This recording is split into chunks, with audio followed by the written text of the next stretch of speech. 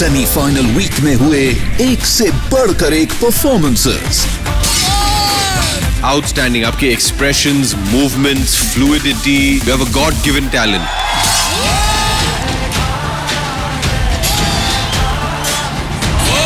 तुझ विनर दिखता है यारा मैं क्या करूँ?